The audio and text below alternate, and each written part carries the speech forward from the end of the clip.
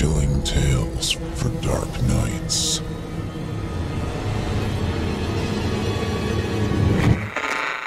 Want to make sure you never miss a Chilling Tales for Dark Nights video again? Be sure to subscribe and hit that bell to turn on notifications. It's time to turn off the lights and turn on the dark. Chilling tales for dark nights.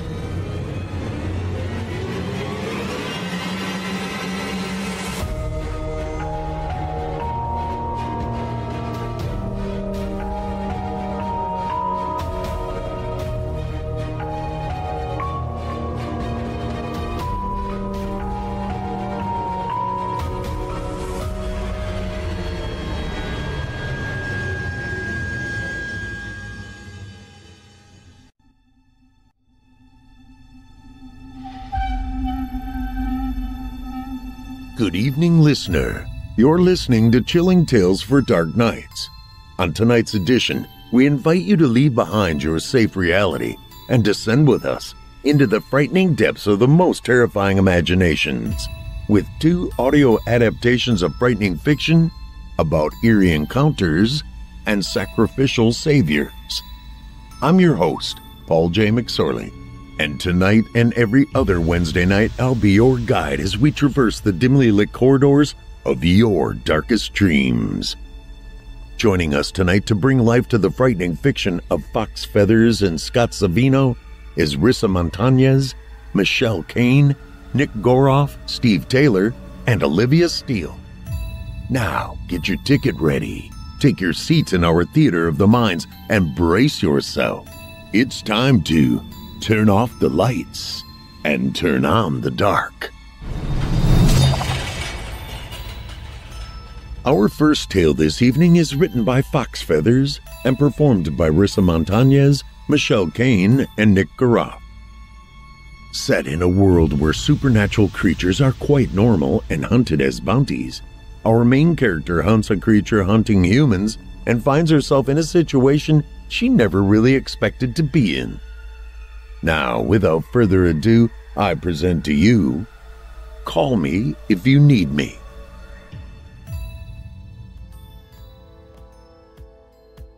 She was objectively pretty, I guess.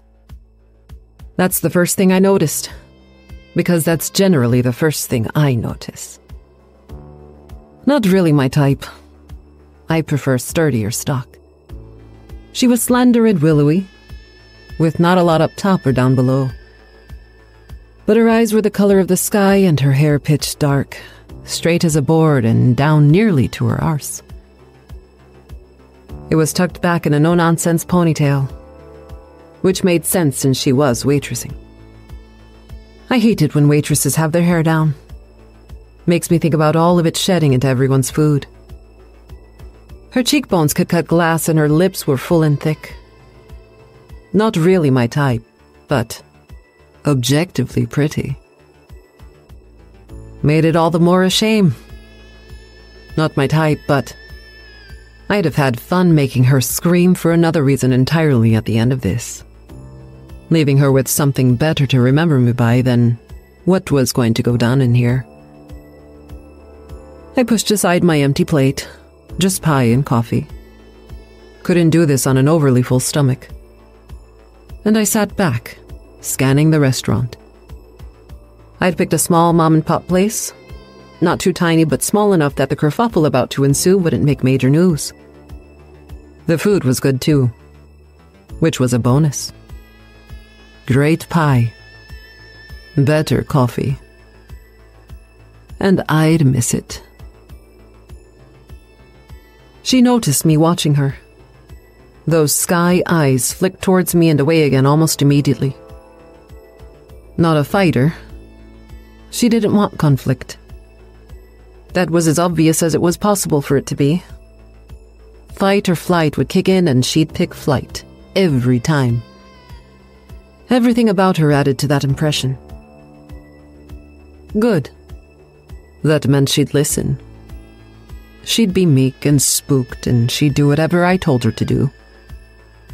She'd be easy to handle when things got crazy. The little bell above the door rang, a cheerful little noise, morbidly juxtaposing the scene that was about to go down. He was here. Showtime. The door closed and the little bell rang again, and I moved in towards the girl. She saw me move towards her, and after a step or two, began gathering up the cups and plates left on the table she'd been preparing to clean, faster. She wasn't a fighter, but she also wasn't stupid. She knew something wasn't right here.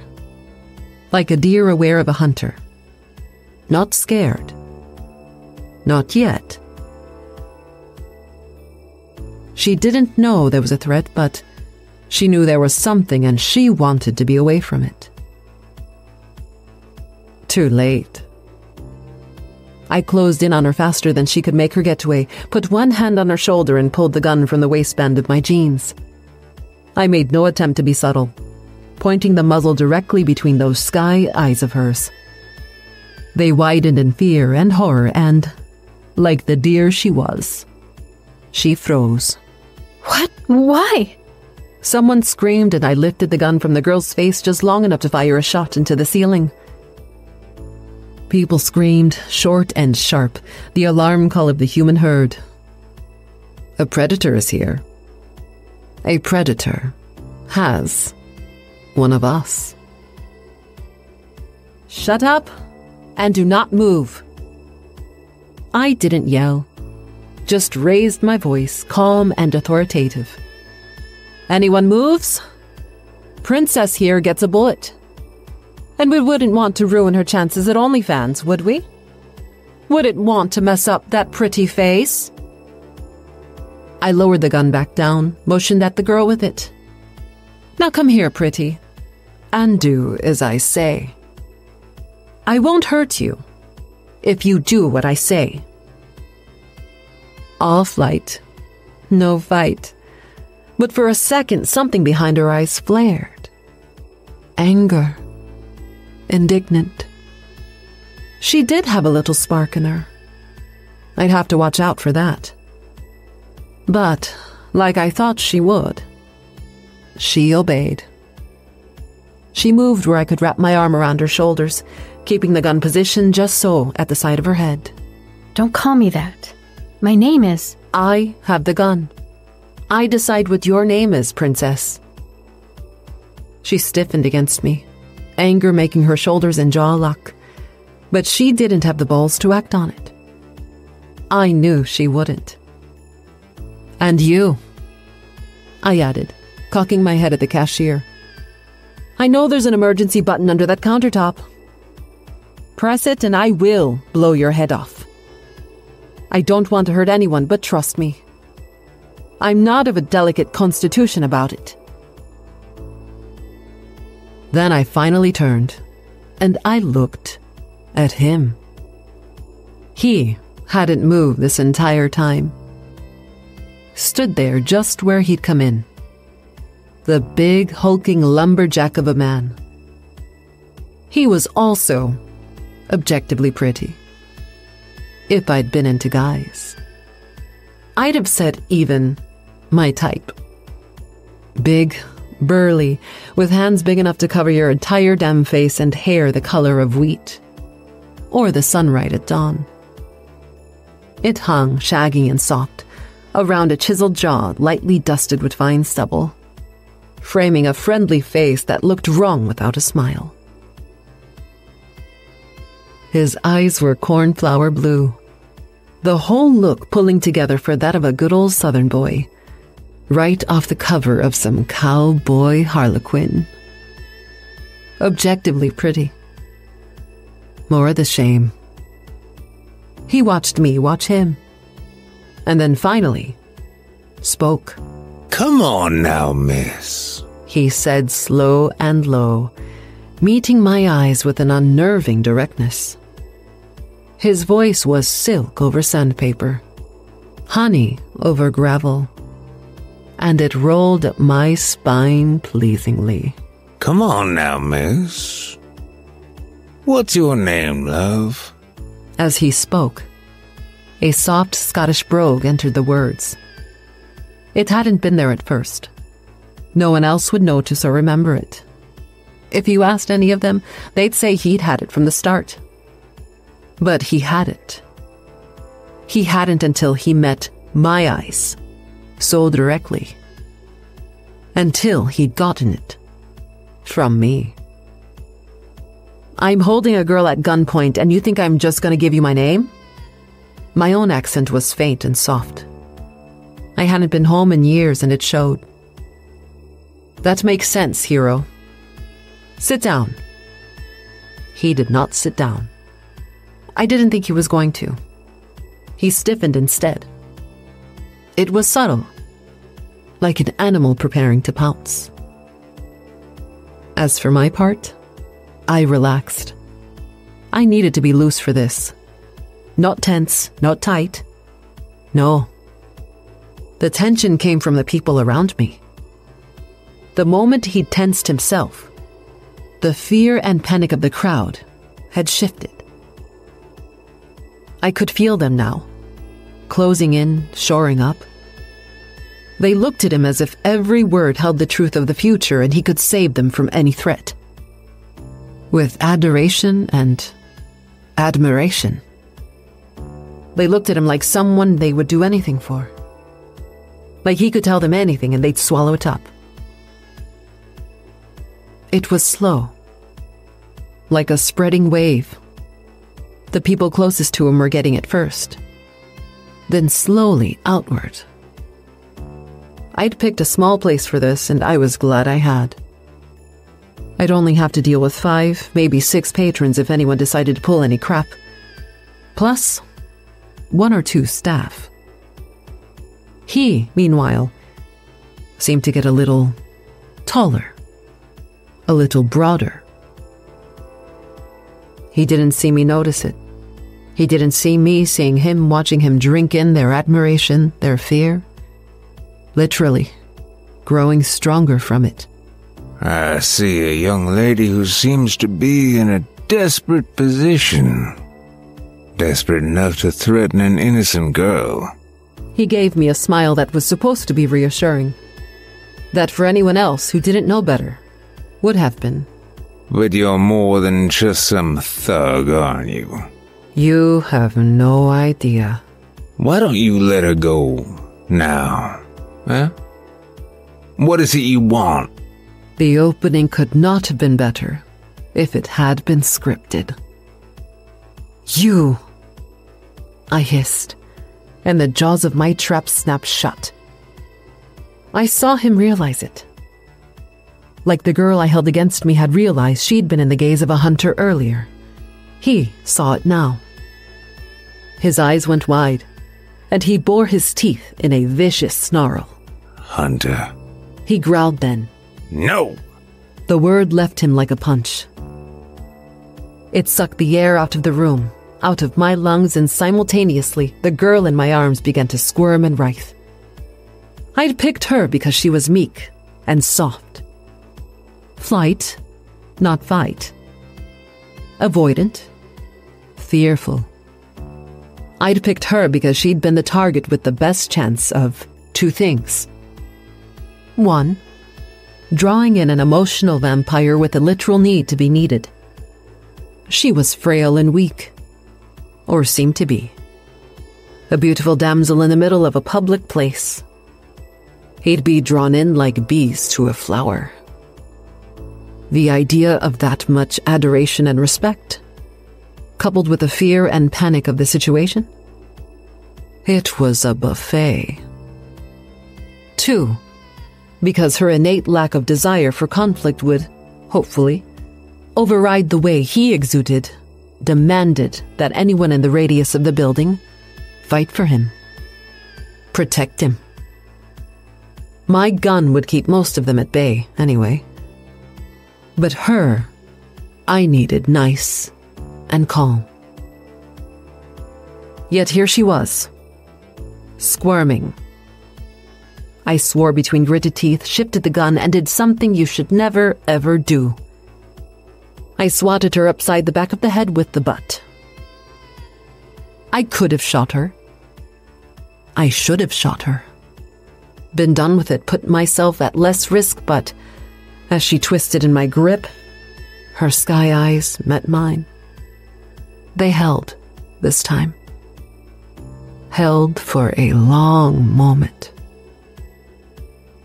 She really was very pretty, objectively. At that moment, with fire in her. So I knocked her out cold instead of killing her.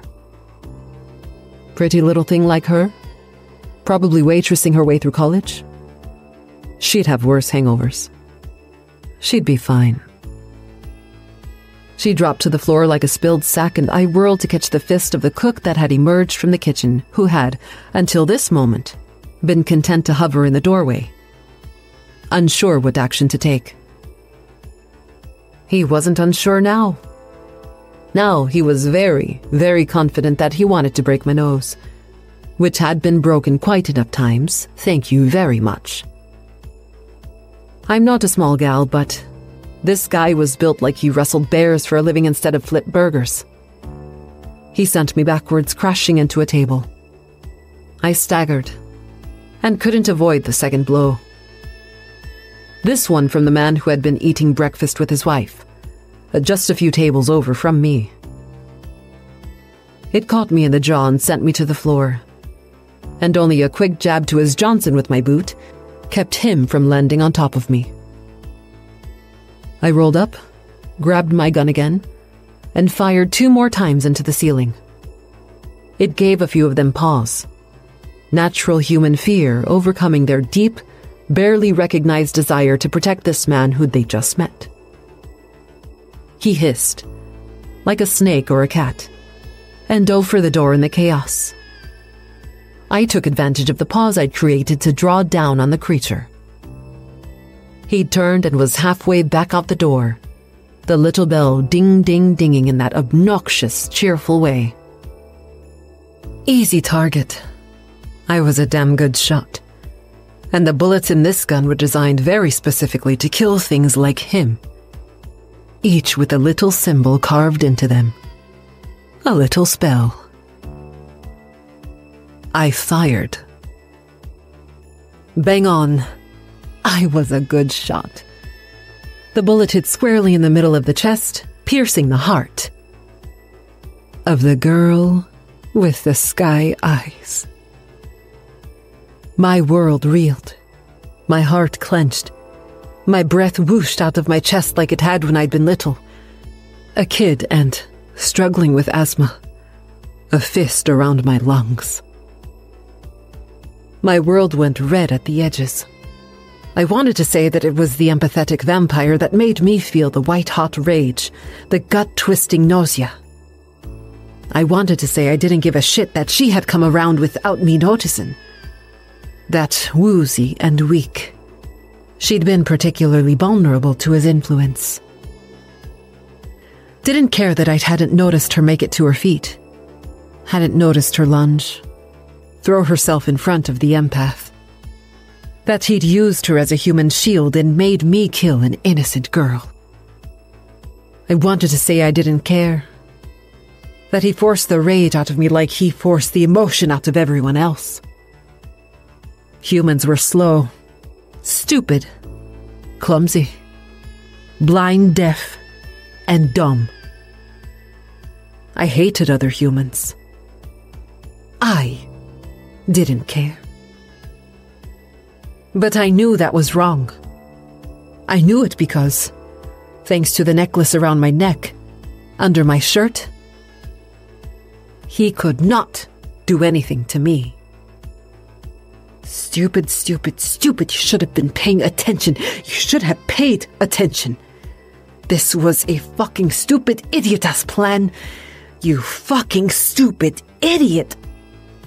I heard myself shouting with rage. The smirk on his face vanished as he heard it too, and assumed the oh shit look of any child who had pushed a parent too far. He dropped any attempt at control over the people in the diner, but I was barely aware of them reeling. Of someone puking right near me. I think someone may have screamed. There was crying. It all seemed very far away as I pulled the trigger again in rapid succession before he had time to get out the door. I was. I am. A damn good shot. Once through the leg. He staggered, his knee exploding from behind. Once through the center of the back. He dropped like a stone, making a wailing noise as he did so, screeching like a wounded animal in the jaws of a lion. He knew he was dead. Still, he was defiant. Prey lashing out one last time before their throat was opened and their life spilled out. Fuck you, Hunter. You're a little bitch, but I like him prettier. I snapped back, panting, and I kicked him over onto his wounded spine to get access to his chest. Nobody in this fucking shithole move, or I swear to God, I will kill you all. I added, raising my voice. I knew, without having to look, that now that her mind was hers again, that the cashier was going for her phone to try and call 911 or for that emergency push button again, maybe. She froze, mid move, also sensing that I had been pushed too far. Ma'am, you don't have to do this. Someone said to my left. No one else has to die today. Please. It was cute to me.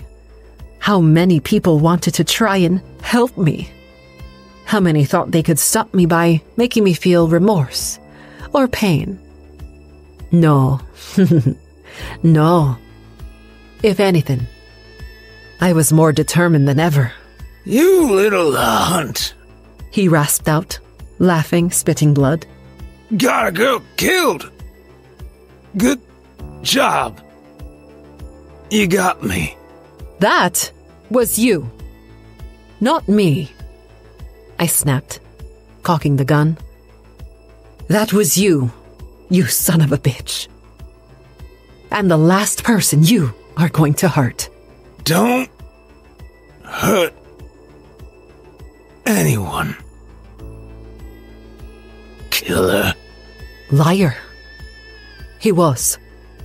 He manipulated people for his own gain, used them for what he wanted, took their emotions and fed on them. He caused the suicide of two teenagers by the time I'd even taken his case. Used them and toss them aside like so much dirty laundry. Emotional vampires are ultimately the least dangerous threat a hunter can face. About all they can do is manipulate people's emotions and feed on said emotions. The problem comes in with what that causes in people suicide, obsession, PTSD, trauma. It leads to things like rape and unwilling accomplices in crimes. And it causes people to launch themselves in front of a bullet.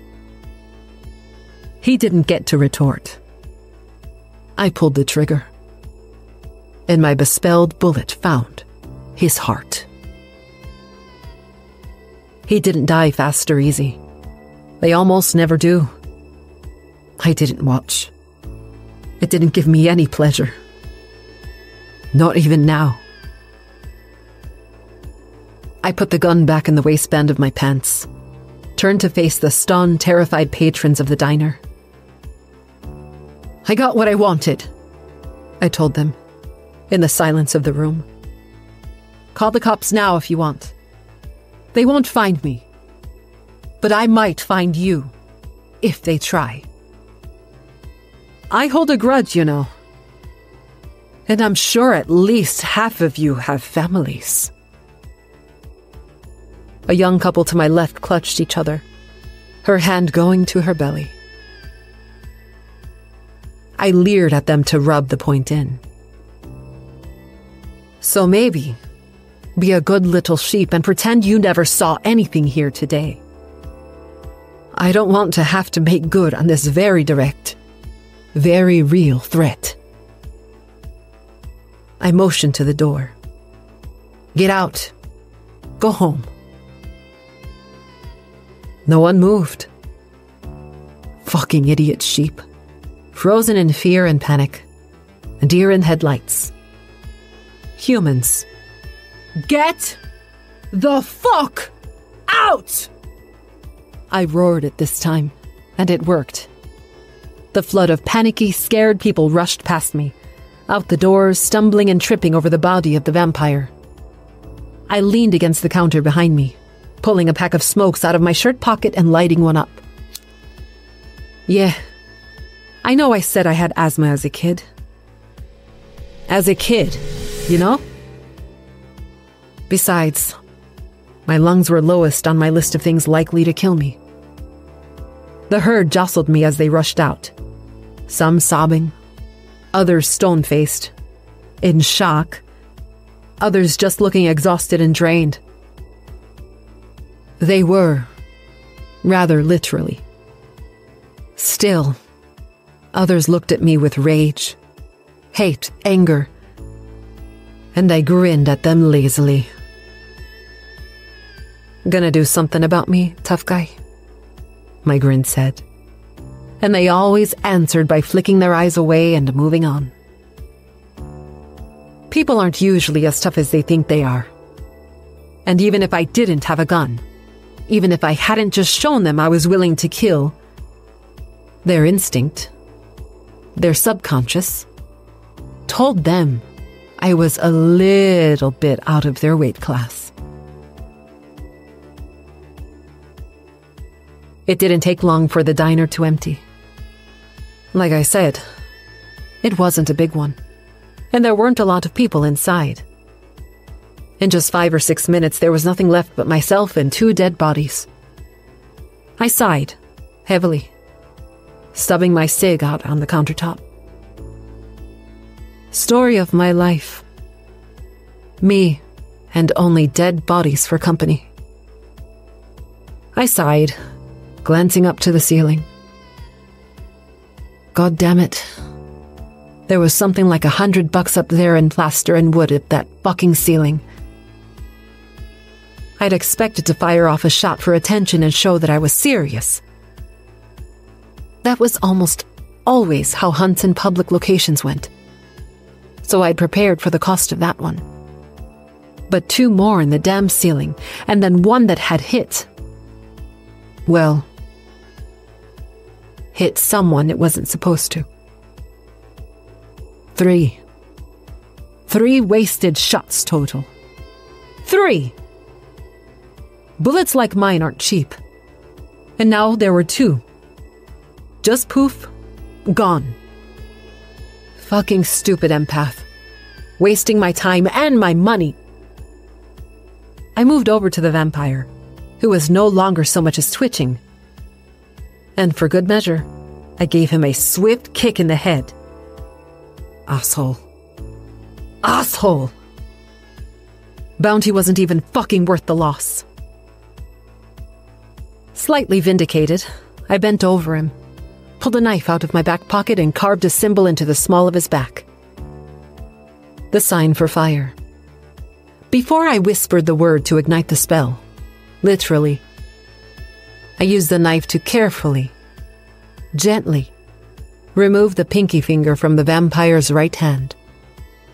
Proof. In theory, you could just cut the finger off any old Tom, Dick, or Harry and claim you'd brought down a beastie.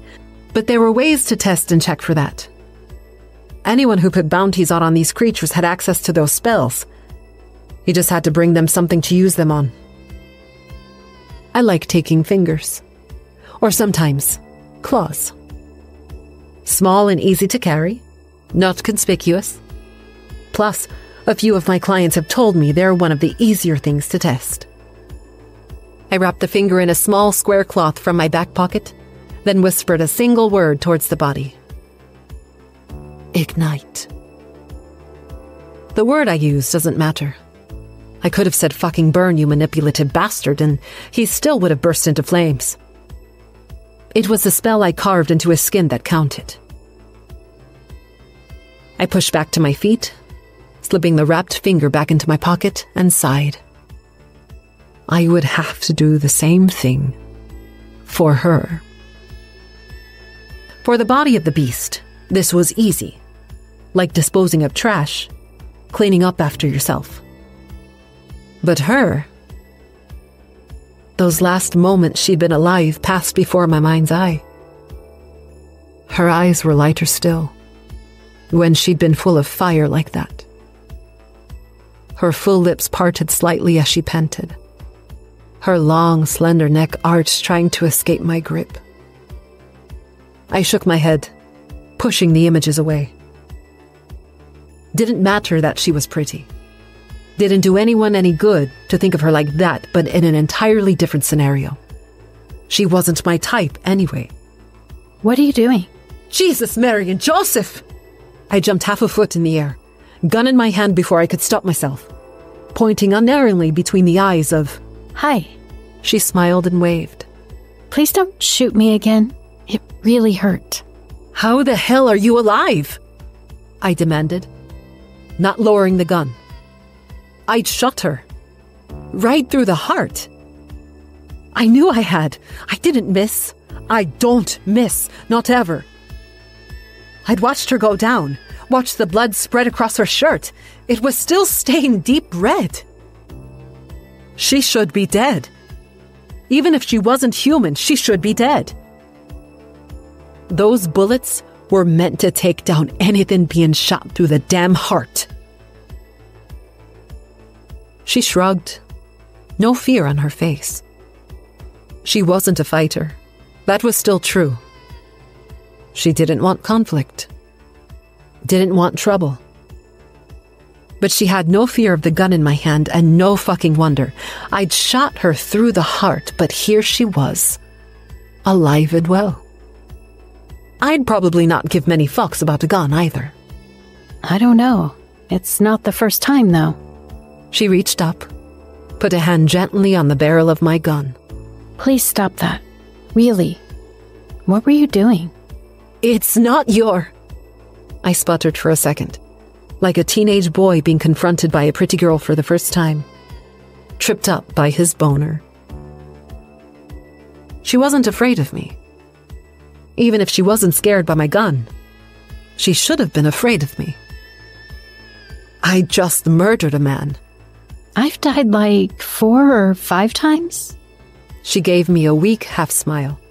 It's never fun, but it never sticks. That bullet should have put you down, no matter what you are. I bit out. It's spelled and blessed. I don't know what to tell you. Her smile faded, fell, and something dark passed behind her eyes. I've been stabbed twice, overdosed once, got hit by a car, and. She stopped, lips thinning, and her eyes darted away. and other. other stuff. It never sticks. It hit me then.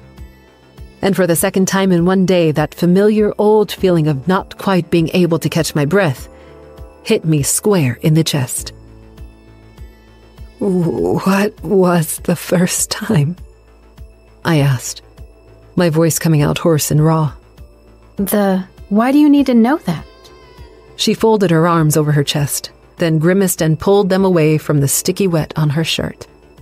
Was it bad? I asked instead of answering her question. She froze, those beautiful pale eyes fluttering shut, her brow furrowing. And it was the only answer I needed. You always answer a question with a question? She asked, but I barely heard her quip. Revenant. She was a revenant. They weren't real. They had always been whispered about among hunters, among people in the know, but they weren't real. I had a friend who claimed she'd fought off a horde of zombies in a small town once, someplace she called Gravity Drops or something. I don't remember. And I'd heard an old, old hunter once claimed he knew a guy who could bring people back to life. But only for a couple of minutes at a time or or something bad would happen. But neither of them ever had any proof. And most other hunters just laughed the stories off as if they were just tall tales. It's not unusual for hunters to have big fish stories. In fact, it's pretty damn common. Not that I have any. Only the truth from yours truly. Swear on me, Mum. It was. It is. A catch all word for anything not alive that's also not a ghost, ghoul, or vampire. You know, zombies or. or in some stories, people who had died in bad ways who had regrets, anger, and refused to go out without getting revenge or finishing what they felt needed finishing. Usually, they came back as spirits, angry ghosts. But here, now, the gun was suddenly quite heavy, and I let it pull my arm back down by my side. She breathed a sigh of relief and gave me another weak half smile. Guess even special magic bullets can't kill me, huh? No. No one knew what could really kill a revenant. There were tons of speculations and thoughts, but because no one had ever hunted one, no one knew for sure. Shiloh, are you listening to me? Hello? Movement inches from my face. My hand snapped out, snagging the slender wrist, and I twisted, instinct taking over, bending the arm back behind her wrist, trapping it halfway up her back. She cried out, her knees buckling, and she hit the hard, crappily carpeted floor by the time I'd ever realized I'd acted. Hey, ow! I just. Ow! Let me go! Quickly stepping back and trying to pretend I didn't feel heat in my cheeks at the fact that I just manhandled someone who weighed 80 pounds soaking wet. Revenant or not, she wasn't any kind of threat to me, and we both knew it. Rubbing her arm and shoulder, she turned over to flop onto her knees, her sky eyes filled with anger and tears, her slender chest rising up and down quickly with the fearful breathing of a cornered animal. What the hell was that for? I. Jesus, fuck, what is happening here? I'm sorry. I just. You startled me. You always attack people who scare you a little? Yes, actually. I pulled the cigarette pack out of my shirt pocket again, tapped out a second. I don't usually go through more than one so fast, but fuck if I don't need one. Maybe a drink too. Usually, people who scare me a little are trying to take my face off, so. Point taken. She actually chuckled a little, delicately picking herself up. She wrinkled her nose at the smell of my cigarette, and I lifted my eyebrows in a silent dare for her to say a word. She thought about it, but instead said, I was saying my name is Shiloh. Shiloh. Shiloh Sky Eyes. Shiloh Raven Hair. Shiloh the Undying. Shiloh. 'Twas a perfect name. It fit her like a glove. Shiloh. I said it out loud this time, and it tripped and bounced off my tongue. Energetic and sharp. I'm Zane. Zane? She cocked her head at me. That's a boy's name. I laughed despite myself. The sound surprised me as much as I think it surprised her. I hadn't had that happen in a very long time. She smiled, though, crooked and unsure. You know, I think you owe me a drink, Zane. She took a deep breath, turned, and now, now she met my eyes without flinching, without looking away. She didn't see a predator anymore. I wasn't sure how I felt about that. I mean, after you shot me and held me hostage and also called me princess. As she got steam under her, I could start to see her personality. What she was under that scared deer persona. That fire she'd had in my arms was still there. Buried, smothered, but there. Do you even drink? Or eat? I feel like that might be the same kind of question as how old are you? Or how much do you weigh? She retorted, lips thinning. She looked away, a light blush on her cheeks. I can, I don't have to. She pulled a shuddering breath, and I watched her brace herself. Brave herself up. Put on armor to face me. Directly in the eyes again. Sassy and disaffected. But I could see the shadow behind her eyes. The way she held herself a little more tightly than someone who didn't care would. The way she kept trying not to look at the burning body on the floor or the gun in my hand. But also, she was eyeing me up and down. Her lips parted slightly, her pupils dilated. Scared and turned on.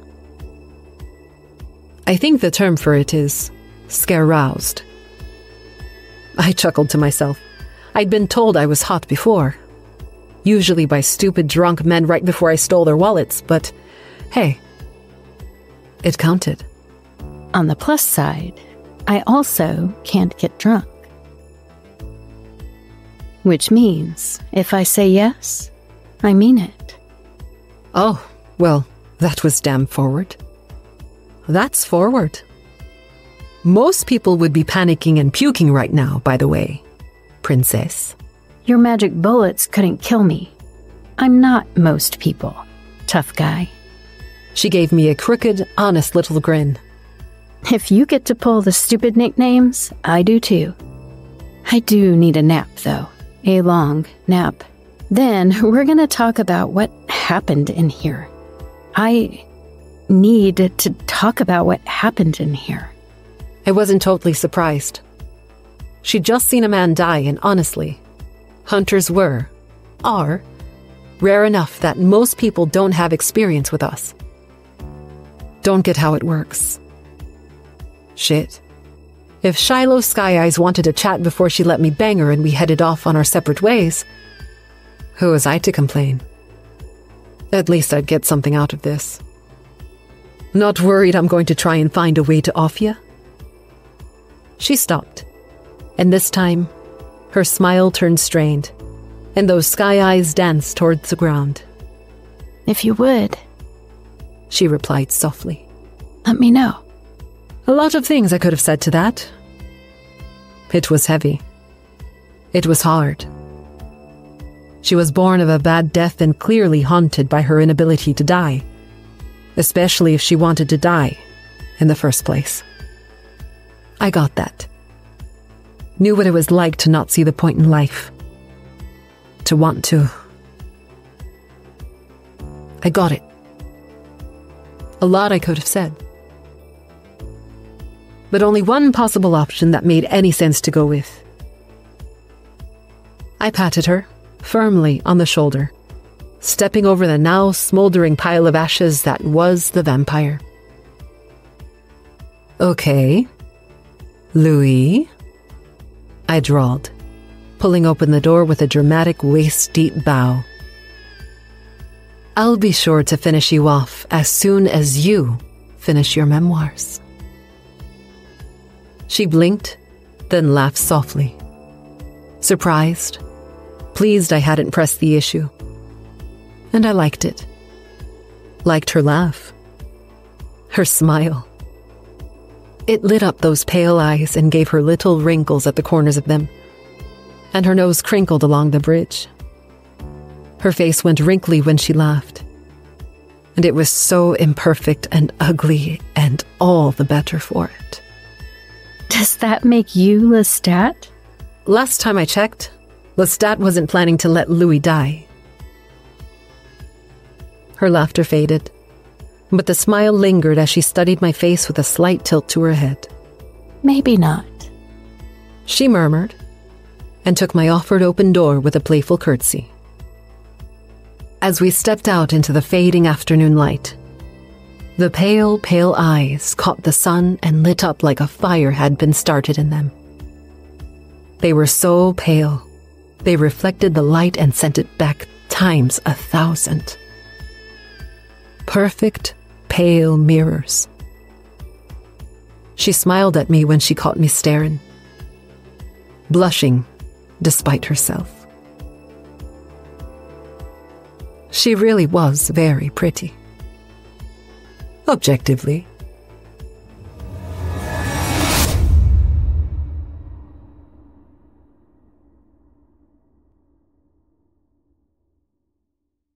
I hope you enjoyed Call Me If You Need Me, as written by Foxfeathers, with the performance by Rissa Montañez, Michelle Kane, and Nick Goroff. Our second tale of the evening is written by Scott Savino and performed by Rissa Montañez, Michelle Kane, and Olivia Steele. In it, we meet a woman caught in one of the worst situations possible an unsafe partner. Now, without further ado, I present to you True Love Burns Twice as Hot.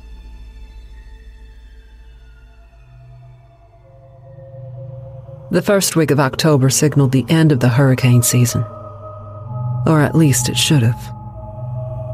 We were passed over by nearly every storm before Hurricane Patty hit us. That's what Hayden said it was called. I never saw the reports. I wasn't allowed to watch the news. Only Hayden was allowed to use the TV. She's a big bitch. She told me. Bigger on the radar than the state of Texas. Shit, that's almost as big as you, Emma Jean. That's very funny, hon, I said as she laughed. According to her, I was getting fat. And there were new ways every day to remind me of it. I tried not to let her know what she said hurt me. I'd learned real quick to keep all that pain inside. And really, I was eating very little. How long till dinner's ready? She said, setting off all kinds of alarms in my head. Her tone held a warning. I knew I moved too slowly in the kitchen, but flipping the eggs with my wrist sprained was hard. The cast iron was too heavy, and the eggs were sticking something awful. As far as cooking went, mine was shit. I never understood why she didn't cook if she would complain about it every damn day. Before I could say anything about dinner, though, my phone rang from the coffee table, stalling her wrath for another minute.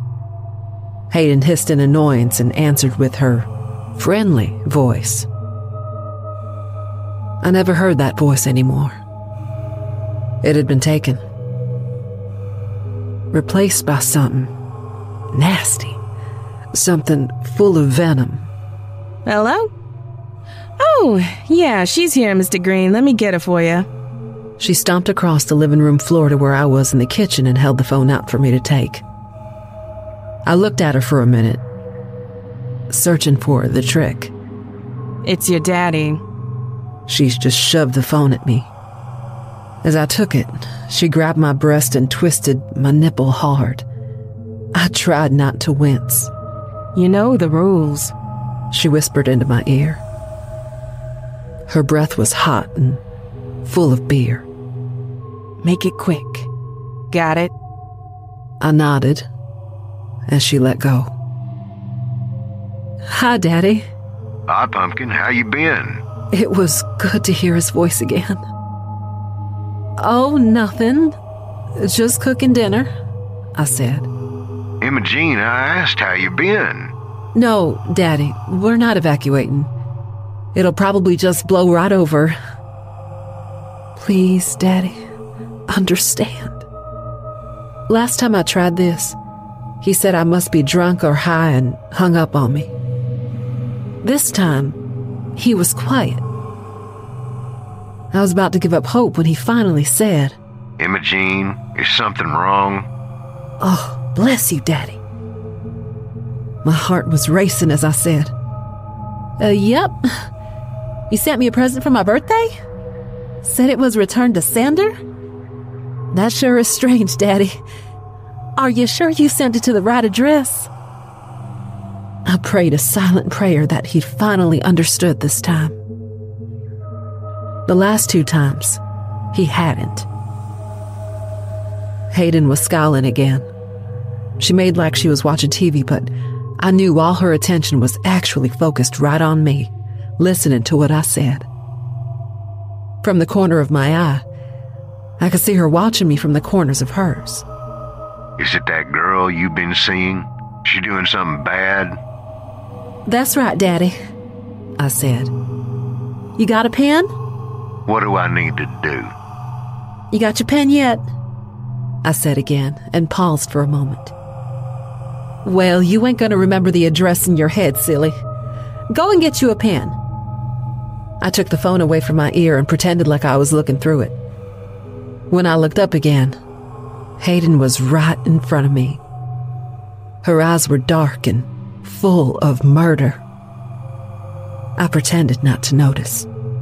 What are you doing, baby? Her tone had kind of a poison sweetness to it, like a wasp's honey. Lately, I'd come to know that tone of hers all too well. How do I find her address in this, Haiti? Daddy wants to send me a birthday present. It ain't in there. She snapped. Her eyes blazed further, red and wide. The silent threats of death just grew, and I could feel them all pressing against me. Oh, I said, calmly returning the phone to my ear. No, it ain't the phone, Daddy. Hold on. I looked at her and said, Can you tell me what it is so he can send my present? She didn't reply. Be blank, I willed myself. No emotions, Imogene. I said, Actually, Daddy, our dinner's burning, so I gotta go. I'll send the cops. Daddy whispered. I tried not to smile. I'm gonna give the phone back to Hayden and she'll tell you the address, okay? If I thought before that she might kill me, then from the anger in her look, she was certainly fixing to after we hung up the phone. This would for sure earn me another night in the closet instead of on the couch. I love you, Imogene. Don't you cry. Don't you cry, Emma. Do not fucking cry. I love you too, Daddy. Here you go. Handing back the phone, I returned to the stove, where the pan was slowly spewing smoke. I moved it from the burner, grabbed another, and began making breakfast for dinner again. I was surprised when she actually told him the address. Of course, she only did it because I forced her to. If she refused, she'd have thought he'd become suspicious. I cooked more quickly this time, thinking that if I did well enough, I might actually escape punishment, but I was wrong. When dinner was done cooking, Hayden pulled me by my bad wrist to the closet and told me I shouldn't have mentioned anything about the storm to Daddy. She seemed awful mad about it. Sit, she commanded, throwing me down to the floor. She snapped a shackle around my ankle and tucked the key inside her pocket. Took out the knife she kept on her belt and held it inches from my face.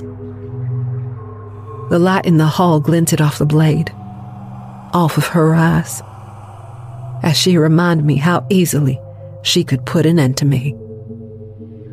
More and more, I wondered whether I wished she would or not. She wasn't always like this, though. We were happy in the beginning, just like everybody else. She'd been thoughtful and, and kind and instead of mean and spiteful. We spent a lot of time in that period of bliss. You know, that patch of time where you learn everything there is to learn about a person, where you see someone's true colors shine through. Even after the bravado of dates one and two wear off. I fell for her there, and I fell hard. When she wasn't with me, my thoughts always led me back to her, to all the stupid little things a person does that she did. There was that coy motion she did with her hand, the one where she twirled her hair while she was thinking hard about something, and the way her smile reached up past her eyes each time I made her grin. Other times, I couldn't stop remembering the sweet and horsey sound of her laugh. It wasn't like anyone else's laugh I'd ever heard. It might have annoyed any other person, but to me, it was like music. I knew I'd never felt like that about anyone before. Eventually, I realized that though she did all these little things for the wide world to see, I was the only one who ever saw them in such a way as if they were special. I remember this one day we were driving. We didn't have anywhere in mind, we were just going to be going. As she slammed her brakes all of a sudden. The Jeep was all screeching tires and burnt rubber, and we stopped in the middle of the road. For a minute, I was so confused. I didn't see anything worth stopping for, and no other cars were on the road besides us. But then she got out of the Jeep and disappeared in front of it. And when she reappeared, well, that was the day I knew for sure that I loved her. Because when she reappeared, she was holding that little snapping turtle as it flailed its arms and legs and craned its neck back, trying and failing to bite her. And she just laughed her beautiful horsey laugh and, and said, I'm trying to help you, you silly thing. then she set it in the brush beside the road and nudged its little tail softly and let it saunter away. She hadn't been that woman for a while now. The Hayden I lived with now was someone else. Someone I didn't know and hadn't ever loved. Someone whose eyes smoldered like an angry brazier in the dark instead of lighting up like stars. All the kindness was drained from her, and the warm light that drew me in had all but flickered out. I'd known Hayden had some powerful magic inside her from the start. From when we'd met six months ago. There's some stuff in me too, but nothing like what she's got. For me, it's like a feeling in my gut, not like most people get. Most people, it's a hunch or a hope they call their guts talking. With me, I could take one look into someone's eyes and know a whole mess of things that I shouldn't. Then I sometimes see other things around a person, auras and the like. The energy that Hayden glowed with when I met her was this pale yellow sunshine that danced like a new flame. It was comforting and warm. I couldn't take my eyes off of her. The first time I saw her that way, I took it as a sign that the things she said and felt for me were true and pure. I could hear it too, vibrating in the air around me like little bells tinkling out a song nobody else could hear but me. I ain't seen or heard that energy from her for a while. Something bad happened, I think. The aura that swirls around her now is this brooding. It's thick as smoke and dark as sin. Something changed when she met those others. With their help, she learned more about her gift. At first, I thought it was a good thing that she could learn new things that I couldn't even begin to. At first, they just practiced simple charms, stuff to make the world brighter and more hopeful than before like making flowers bloom and turning gloomy gray skies into great, cloudless stretches of eternal blue. Over time, though, those pretty little charms got bigger. turned into things no one should have known how to do. Things that scared me down to my guts.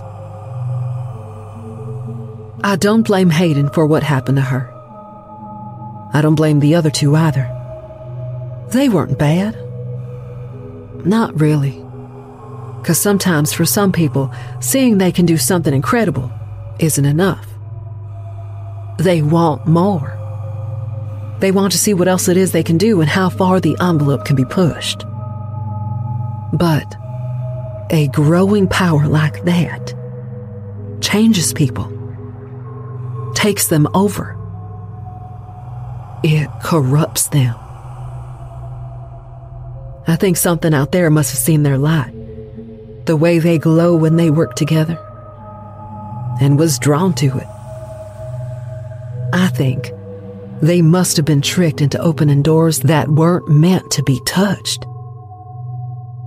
I think something came through one of the doors.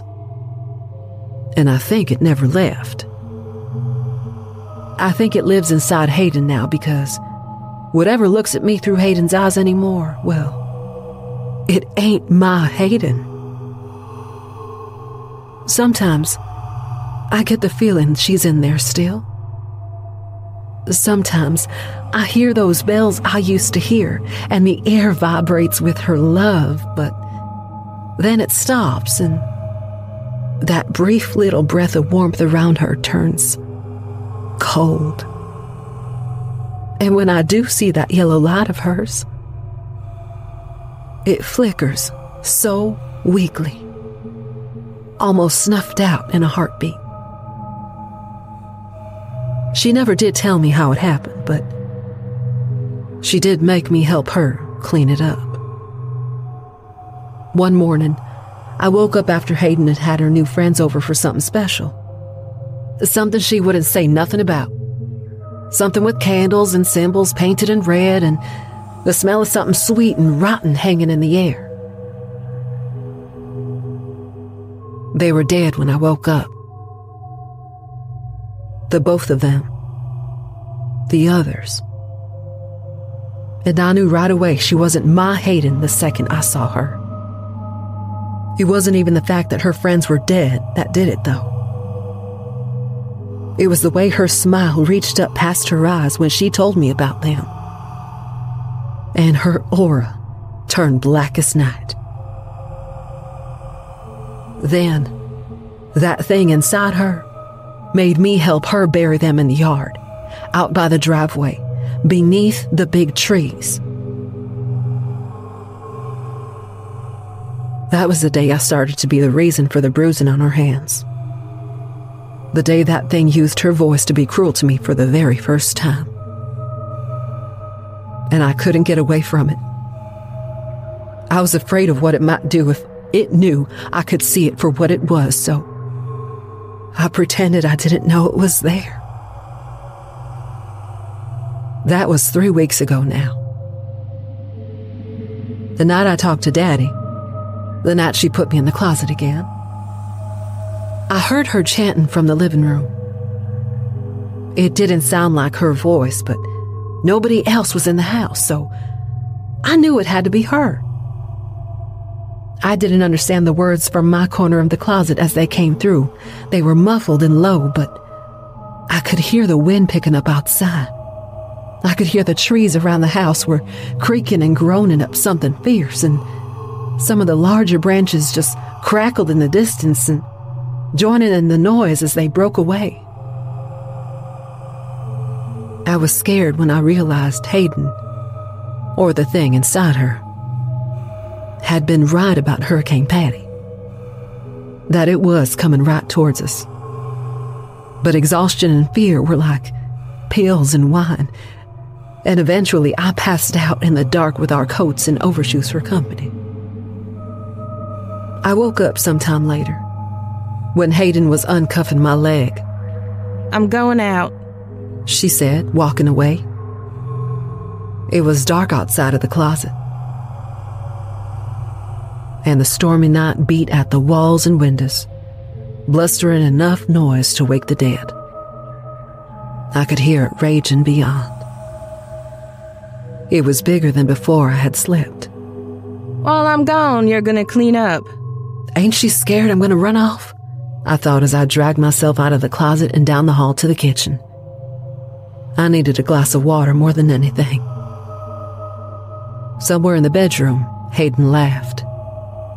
It wasn't sweet or horsey.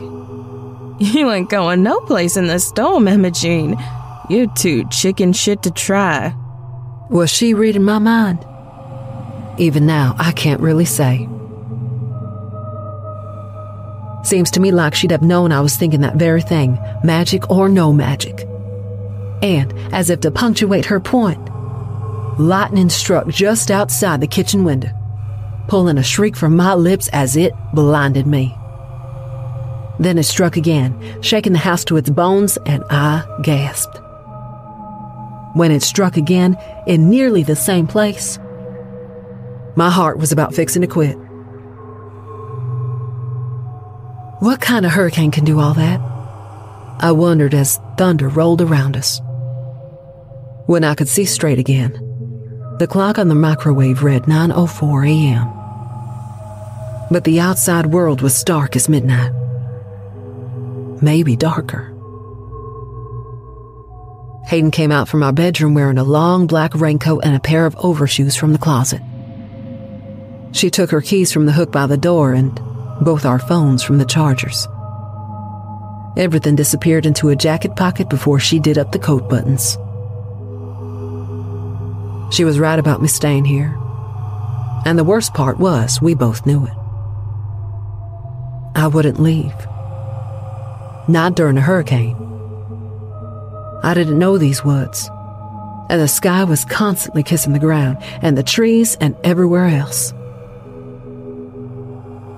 The wind howled, screaming like the dead brought back, and the rain came hard and mean like stones on the roof, sharp and angry. Do they know how long the hurricane's supposed to be for? I asked her. But she didn't answer. She just locked the door behind her with a soft snick from the bolt. I couldn't open it from the inside without a key. I turned to watch the storm wash everything away outside the windows as Hayden made her way to the car. That's how I saw them before she did. Not that it would have helped her if she had seen them first. She never stood a chance. They were climbing out of the graves in the yard beneath the big trees. The lightning must have woken them from their death. Or awoken something else. Or maybe they'd been kindled by the promise of revenge and the fire of their hate. They didn't look how they were supposed to. Their hair was gone, and great black voids had eaten up where their noses and eyes should have been. Most of their faces were made of wide, yawning holes full of teeth. Teeth that they shouldn't have had.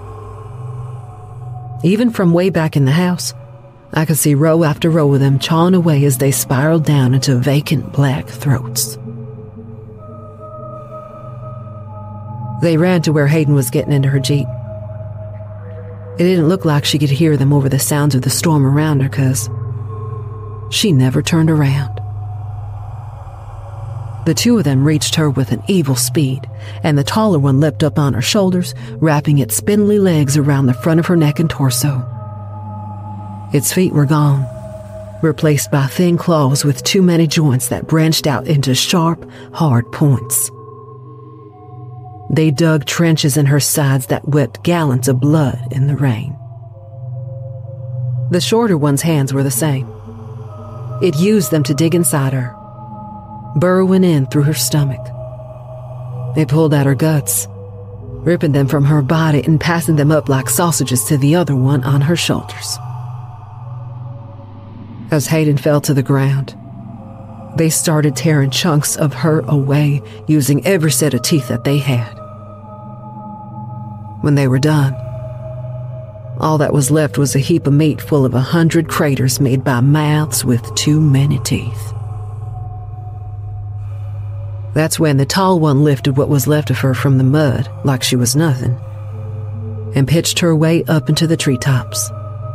like a bullet thrown away a little girl's rag doll. Except Hayden was the rag doll. And then they turned to me. I snapped the curtain shut and hid further in the house. They couldn't get in, could they? I didn't think they could get in, but after a while, as the storm beat the house and they just groaned outside the walls, I wondered why they ain't trying the door or smashed out a window to come in. Something must have been stopping them, I reasoned. That was the only explanation I could find. I waited a few days, I think, being trapped inside as they moaned about just on the other side of whatever room I hid in. After about the third day of the storm, I remembered Hayden's tablet. It still had the internet. I could reach out to somebody. I could get out of here.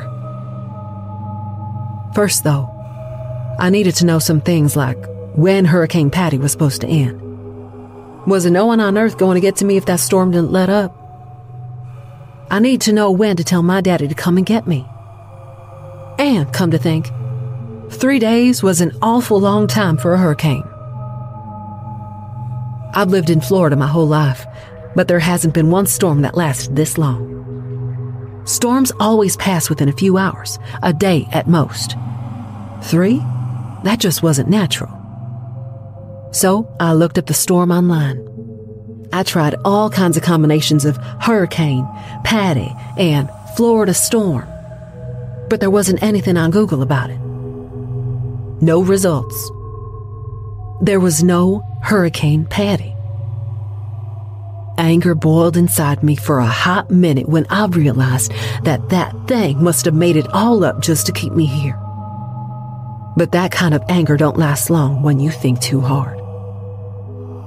When I realized that if Hurricane Patty had been made up, and that thing inside Hayden must have summoned this awful wind and rain itself, it couldn't undo the spell since it was gone and all that hot anger just spilled out of me, leaving nothing but cold and tears behind. I reached out to Daddy on social media. I didn't know what else to do. Daddy was awfully glad to hear from me. He said there was nothing at the address Hayden had given him and that the police had tried to triangulate our last call, but it hadn't worked. I said it looked like the call had come from a shopping center somewhere but there was nothing like that near me. Before we said goodbye, he said they were still trying to trace the phone. But I didn't think that that would work. If my phone had been smashed when those things had eaten Hayden, then it had to be dead, either from a dead battery or the wetness of the rainstorm. And those others were still out there. They might have saved me from Hayden, but I knew that didn't make them my friends. I'd listened to them for at least five days. Or was it a week already? I lost track of time in the rain and the night that never ended. I had to ration my food and measure time in crumbs, but I was hungry all the time anymore and still didn't know what day it was. My rhythms got all turned about too. I stopped sleeping almost altogether. All I could get was a few minutes of shut eye here and there. Wasn't for a lack of trying. Of course, I'd been trying. I just couldn't do it. Those things just made so much noise. I listened to them all the time.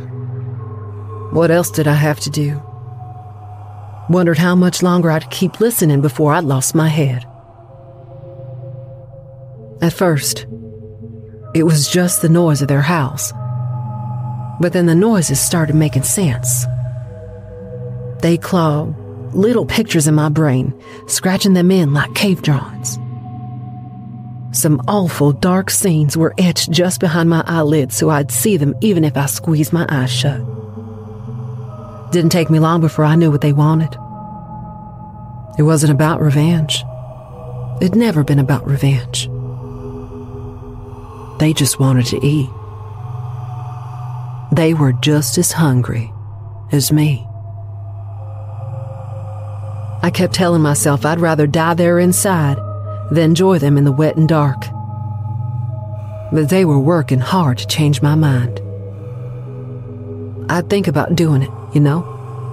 About running straight out there, stopping beneath the rain and the trees that swung about in the wind and just waiting for them.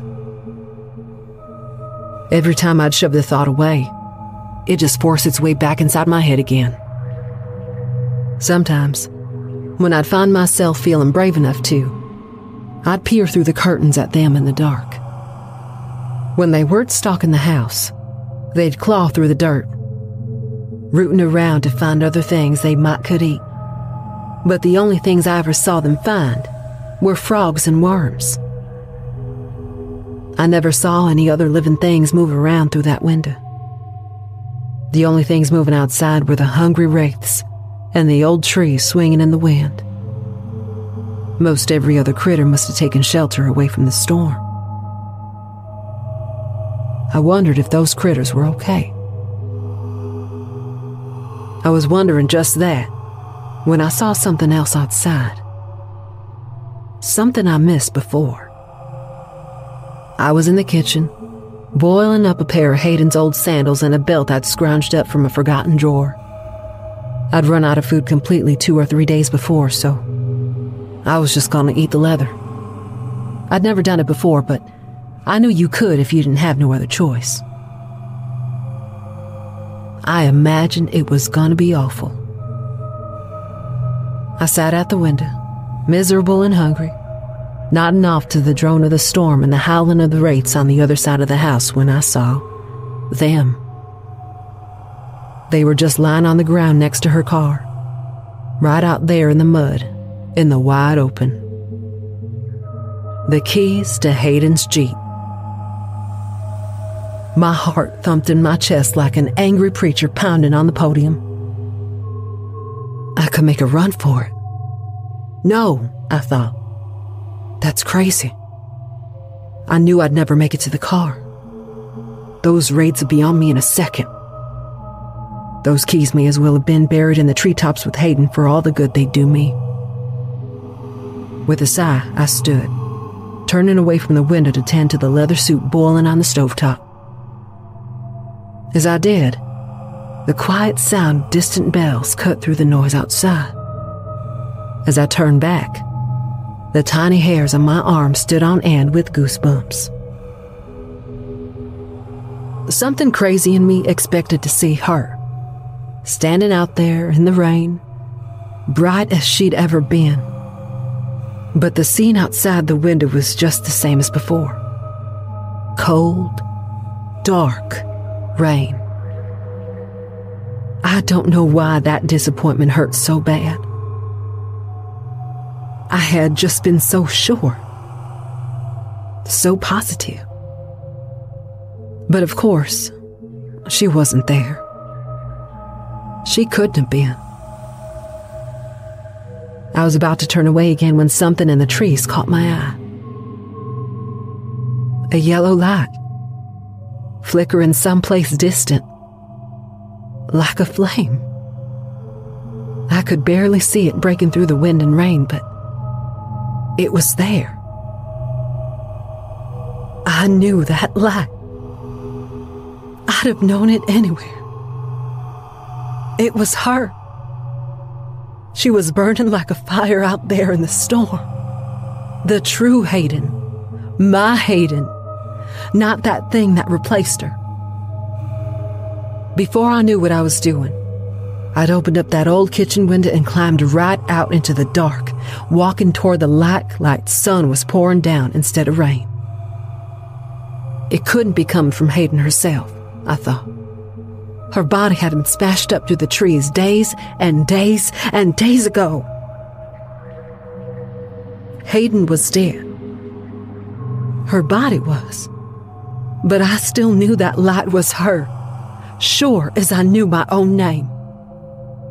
It moved too, dashing quickly in my direction and picking up speed as it went. It startled me. It made me think of a mountain lion streaking down a hill, and suddenly, I realized where I was. I was there, in the rain, soaking in the cold, outside, with them. I bolted for the car, my bare feet slipping in the mud. I couldn't go back inside. Inside there was nothing, just loneliness and a slow, hungry death. But outside, when I'd already made it this far, I bounced off the side of the Jeep as Hayden's light reached me. Blinded by freezing rain and my own slick hair, I fished her keys from the mud and she passed through me. Into me. I felt the warmth of her wash away the cold October rain. The bells were singing around me, all loud and perfect and magical. Damn near took my breath away. I couldn't hear the wind over those bales, even as it threw the rain against me and tore at my dress. I couldn't hear the storm, even as it raged around me. I only heard Hayden. As I climbed into the Jeep, movement caught my eye. I looked up just in time to watch those dark creatures leap over the ridge of the roof. They must have been on the far side of the house when I came out. They landed in the yard, spraying mud into the air all around them, and they screamed over the wind. But the glow of Hayden's yellow light filled the space between us. I knew I didn't have any more time to waste. I started the engine and threw the car into reverse and drove away as quick as the rain would let me. Yellow light danced in the mirror, and I could see flames flickering behind me despite the storm. I watched those dark things light and burn and curl until they were too far behind me to see. The rain stopped when I found the main road out. The sky was clear and blue, like I'd never seen a storm in its life. As I drove, I saw smoke twirling into that clear blue sky from deep in the trees. At Daddy's insistence, I brought the police back to the house the next afternoon, knowing there wouldn't be anything left to find. The rain had stopped, and the house was gone. It had burned up that day until there was nothing left of it but a concrete slab full of cracks and smoldering ash. Police took me back to town, took my statement, such as it could be, and they sent me home to Daddy. I wish I knew what happened, really. I know it wasn't Hayden who kept me prisoner there, but something was wearing her face. Something happened to her that almost ate her all up inside. I think darkness has a way of devouring things, same as fire. Things like hatred got a way of getting inside you and burning you away until you're something else something you don't even recognize. But love can do the same thing. Even after you're gone, the fire of love remains. And me? Well, I like to think that that sort of flame of true love burns twice as hot as any hatred ever could.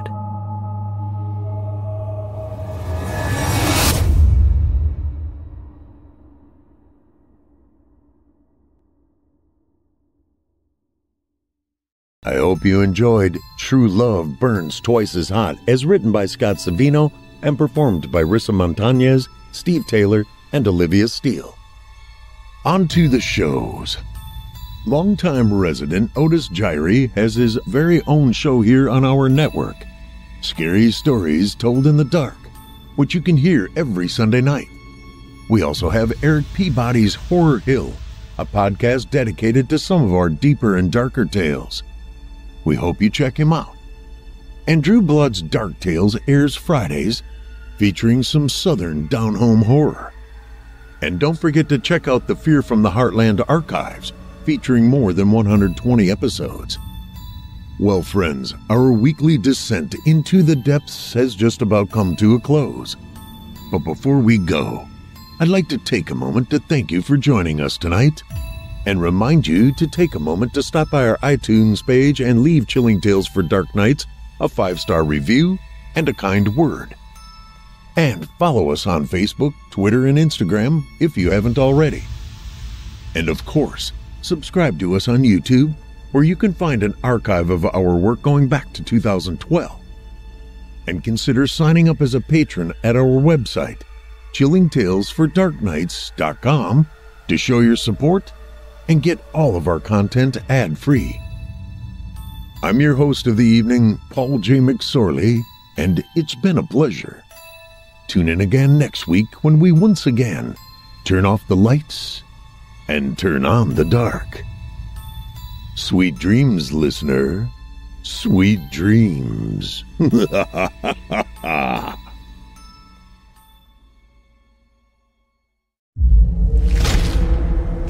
tales for dark nights.